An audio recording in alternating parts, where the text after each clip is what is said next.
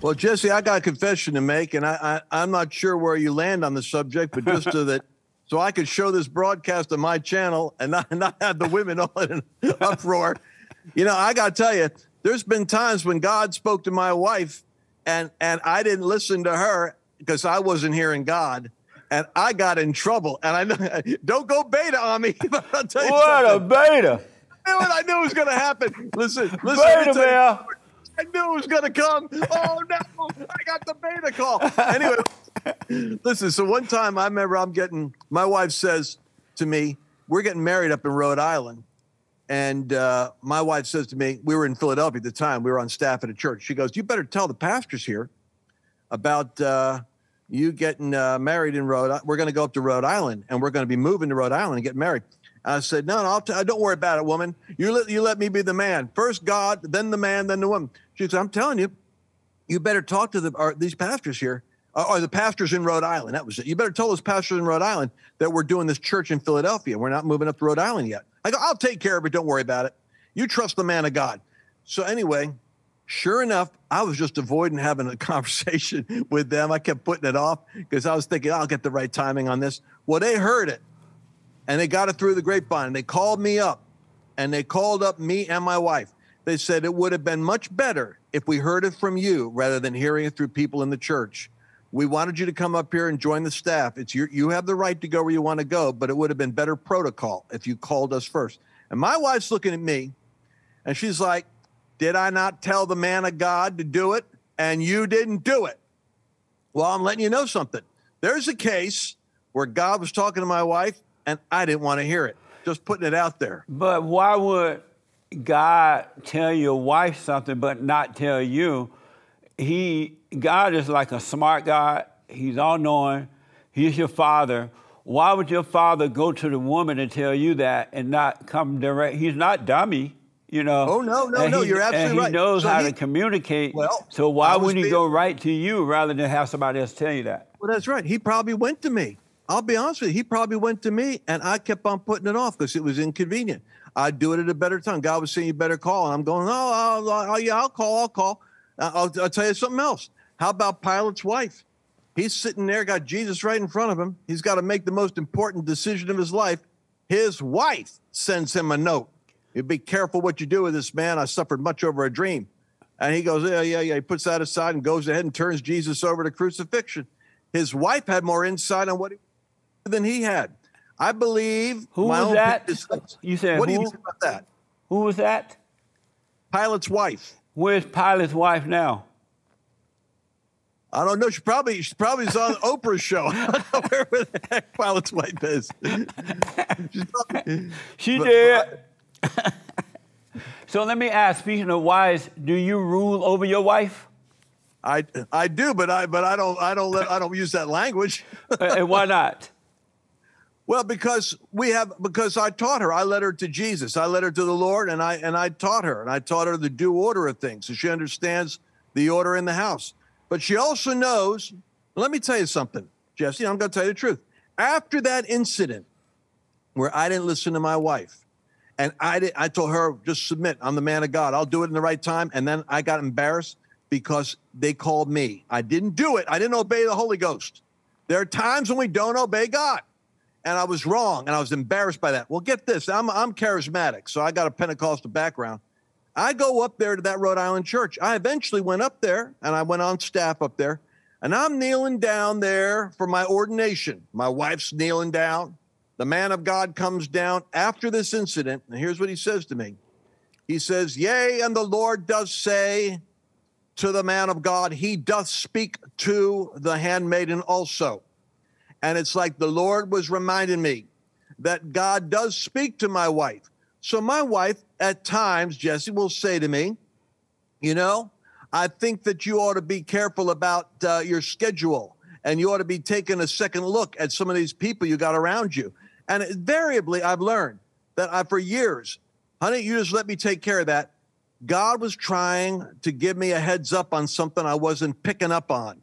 And he was using my wife to give me that input. I don't think that's a beta male. I think that's a mature man. Well, you you I and, I listen. said and I said earlier that women can pick up because of their nature. they can pick up evil real easy, like because they they're they're closer to evil than the man is because God is the, the man's God and Satan is the woman's God. And so she, her nature is wicked. That's why when we are born through the woman, we must be born a second time of the Father, because all who come through the woman is born through evil. And, and, and, and then we're born a second time of the Spirit of the Father. So they can pick up evil. That's why I said you can, when she's telling you stuff like that, you can pay attention to it. But real stuff has to come from you. Real leadership, real stuff has to come from you because it's in you and not in the woman. Women were not created to lead, they were created to follow.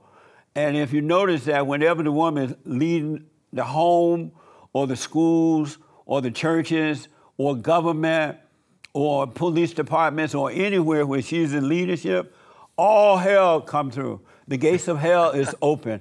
That's one of the reasons why we are having uh, homosexual being accepted as normal, lesbian, lesbian, and boy body parts and all that stuff been taken off now because the women are taking over and because their heart, their their uh, spirit is of their father, the devil.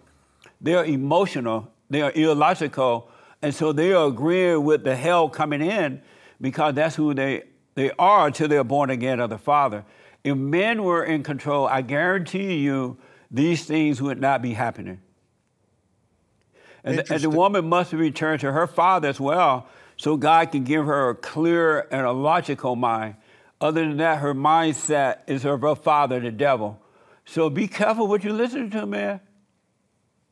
Amen. And I do, and I agree with you on the fact that the leadership is supposed the man's got a responsibility yep. to lead. Yep. And and that the reason why I think that you've got more women going to church than men is because we don't have more men that are manly in the pulpit attracting men. Or in the home. So women are looking for the love of a father, and instead of getting love of the father, she gets screwed.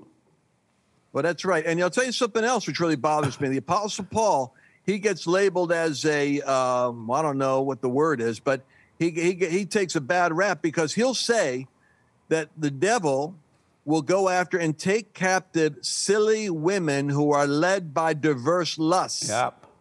And they heap up to themselves teachers. So in the internet age, I got more I got more problems that are difficult to deal with because I say I don't pasture but I got nearly a million people in my audience, and I got a hundred thousand a day listening to me. So it's almost like Rush, a, mi- miniature Rush Limbaugh audience.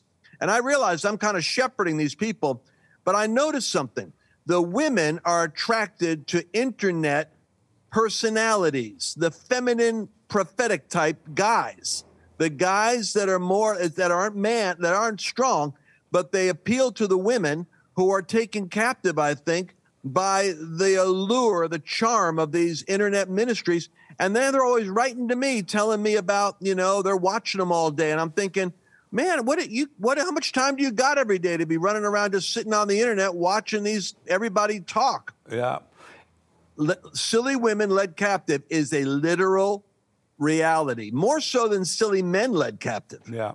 And the reason for that is because you probably already noticed, but the reason is because man is created in the image of God and the woman is created in the image of man, but now Satan is her daddy.